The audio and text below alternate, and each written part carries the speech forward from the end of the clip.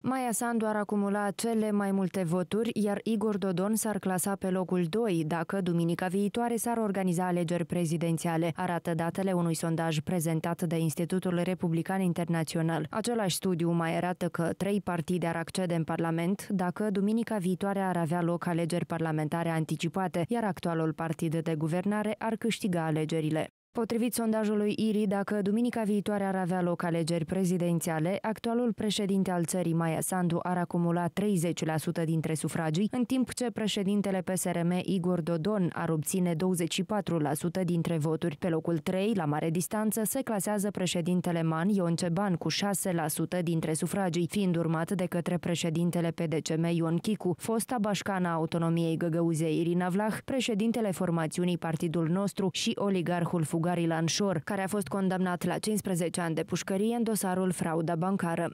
Sondajul ieri mai arată că dacă duminica viitoare ar fi organizate alegeri parlamentare anticipate, atunci Partidul Acțiune și Solidaritate ar câștiga scrutinul, obținând 27% dintre preferințele electorale ale participanților la sondaj. Partidul Socialiștilor din Republica Moldova ar acumula 17% dintre sufragii, iar blocul politic Șansă Obligații Realizări, controlat de gruparea oligarhului Fugari Lanșor, ar obține 10% dintre voturi, mai arată studiul. Din aceste date reie reiese că cele două forțe proruse ar acumula împreună tot 27% din voturi, cât ar acumula partidul pro-european PAS. Denotat că în ambele cazuri peste 20% dintre participanții la sondaj au declarat că nu știu deocamdată cu cine ar vota, au refuzat să răspundă sau au menționat că nu vor participa la vot. Sondajul a fost realizat în perioada 27 ianuarie-22 februarie pe un eșantion de 1247 de persoane, care au fost chestionate față în față. Marja de eroare este de 2,8%.